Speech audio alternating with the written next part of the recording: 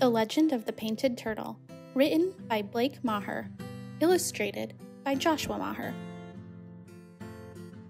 Once upon a time, a long, long time ago, when the world was very young, there was a turtle who wandered all the time in search of a home.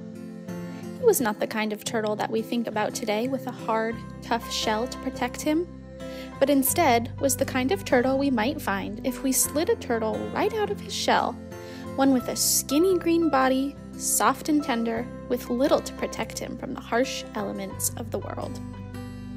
For many, many years, the turtle had been searching for a safe place to live and call home. Because without any protection, he was always afraid of the other animals that might have taste for a good turtle soup. He searched high and low for such a place, but everywhere he went, the other animals, coyotes, hawks, Caw, caw, caw. even a mountain lion or two, Roar. would chase after him. It was a good thing that he was a fast runner, or otherwise there were many times when he would have been someone's dinner. Finally, one day, the turtle found himself wandering through the high desert. It was hot and dry, and the big, vast sky and scarce trees left him feeling exposed and unprotected from his enemies. But the turtle made it through the first few days, and gradually he began to make friends with a few of the other creatures in the area, with the lizards, the rabbits, a bird here and there. Tweet, tweet, tweet, tweet, tweet, tweet, tweet, tweet, tweet. He even sang a few times with the field mice, La la la la la la la la la la la la la. who liked to sing at the moon. Although in general, he thought the mice to be a bit silly. One day, when a particularly nasty hawk Caw, caw, caw. kept swooping down on the turtle, trying to snap him up in its beak, a rabbit signaled to the turtle from her hole and helped him inside until the hawk got tired and flew away. Caw, caw. The turtle thought to himself, Well, this is a fine how do you do. Who would have thought a rabbit could protect me? For the first time, it occurred to him that one of the forms of protection he always had with him was his friends. He gathered together this idea of friendship and stuck it on his back, where it made a round shape and took on the bluish color of an early night sky. After a few days, it grew hard and solid on his back, and to his surprise, he realized that when other animals tried to attack him now, he could always count on this piece of friendship to protect him. Another night, the turtle was out strolling in the moonlight when a coyote Ow. Began to howl at him in a very hungry way.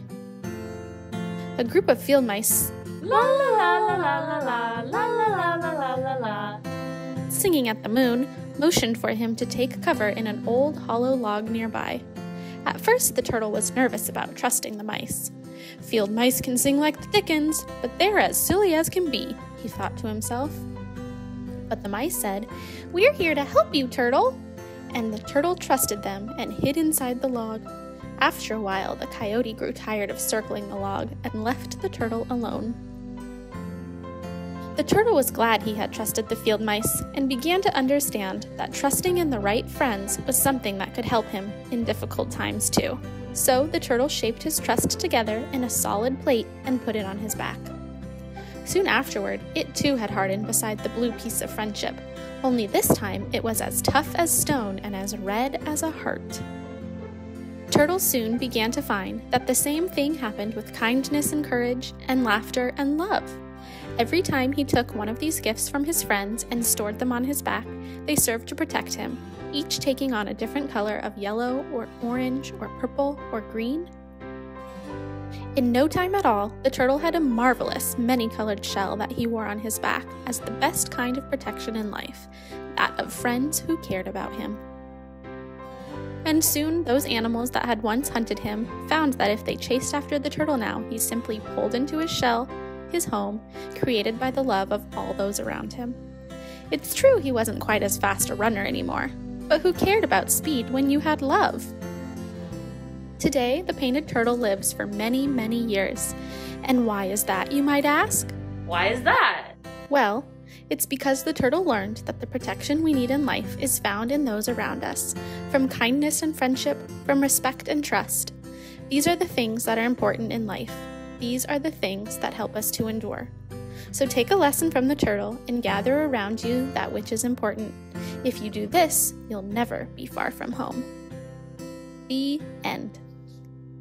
Thanks for joining us. To learn more about the Painted Turtle, a camp for children with serious medical conditions, visit our website www.thepaintedturtle.org. See you next time!